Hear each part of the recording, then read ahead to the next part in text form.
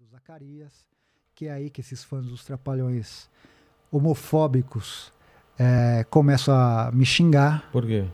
Porque a gente revela que o Zacarias, ele era bissexual, entendeu? E qual é o problema disso? Nenhum? Entendeu?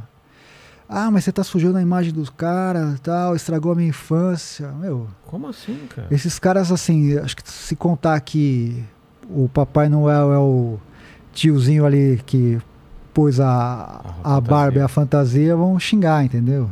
Como se isso diminuísse o, o talento do cara. Não tem entendeu? nada a ver. Nada a ver, assim, o Zacarias é fruto de, um, de uma época que era difícil os artistas Se assumirem. se né? assumirem. Hoje, você vê que tem uma abertura e até um encorajamento para as Mas pessoas mesmo, mas falarem. mesmo os, os galãs, ga- os galãs, galãs, Galãs. galãs, mesmo os galãs, eles não, não se assumem não, cara. Ah, o Giannichini falou, né, outro dia, Falou aí, o quê?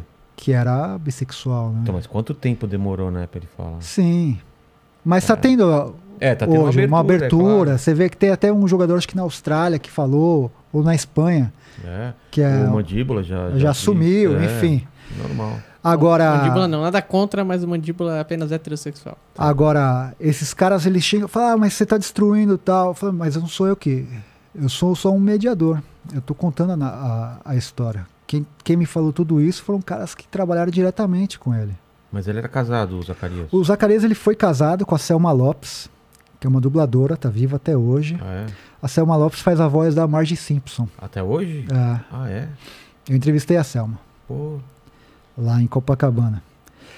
Depois ele namorou uma cantora chamada Valesca, uma cantora dita brega, essas de dor de cotovelo. E aí ele começa a ter um relacionamento com outro cara, entendeu? Quando ele morre, que foi em 90, já é aquela época da, do auge da epidemia da AIDS, lembro. lembra? Cazuza. É. quantos e quantos, Fred Mercury, quantos e quantos começaram a morrer, que era uma doença que não tinha controle. A gente, ninguém sabia como que É, fazer aquilo, né? E, e os tratamentos que tinha, ah, mandava o que tinha de mais avançado era nos Estados Unidos, mas ninguém sabia como fazer isso. e a É como se- morria de repente, de né? Uma repente. semana definhava. era muito rápido, É. muito rápido. Eu lembro. No filme Uma Escola Atrapalhada, que os Trapalhões fazem quase uma figuração, o Zacarias aparece muito magro. E aquilo causa um choque nas pessoas. Porque a, quase a peruca dele fica balançando na cabeça, assim, de tão Caramba. magro que ele tá. Aí começou a dar margem para uma série de especulações. Falar, ah, o Zacarias tá com HIV. tá com HIV e tal. No o que foi dito foi que ele fez, ele, ele é um cara muito vaidoso, é, fez um regime por conta própria, pegou uma pneumonia e morreu daquilo. A Selma Lopes conta que ele, no atestado de óbito, tá câncer.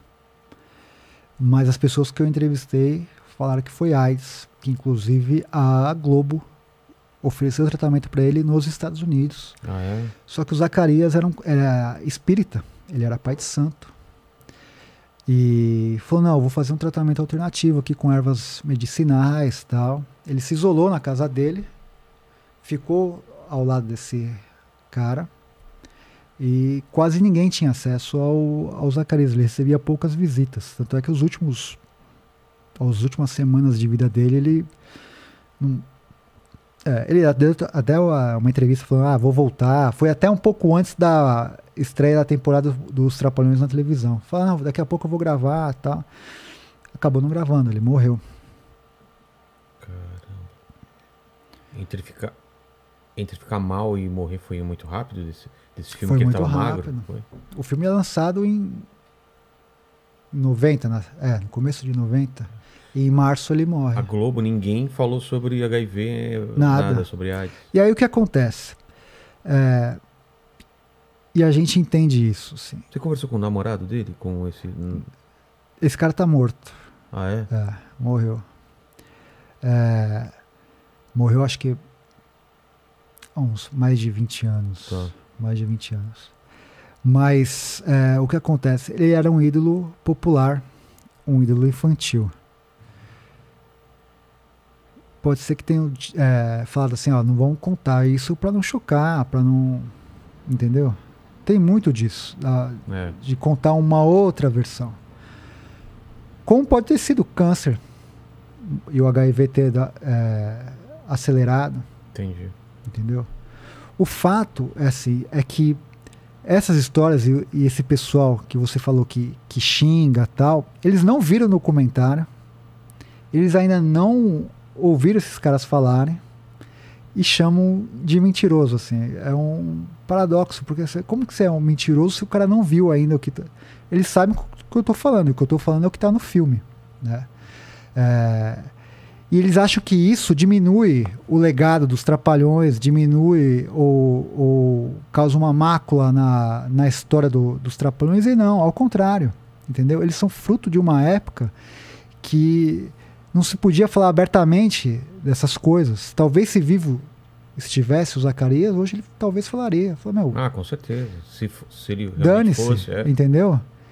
E esses caras que são ignorantes falam, ah, você está ofendendo a, a imagem. A Selma Lopes, que é essa senhora que eu te falei, que tem 90 anos, eu perguntei para ela, Que é a ex-mulher dele. a, é, do Zacarias. Ela falou, meu, enquanto eu tava com ele, dava conta do recado. Depois que ele terminou comigo, o que ele fez da vida dele, quer dizer, ela deu a resposta ali.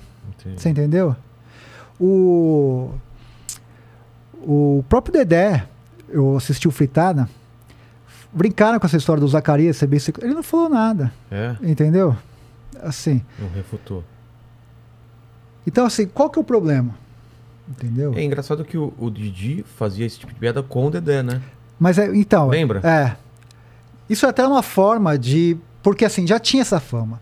Se você for ver, as pessoas levam muito ao pé da letra, ou levavam.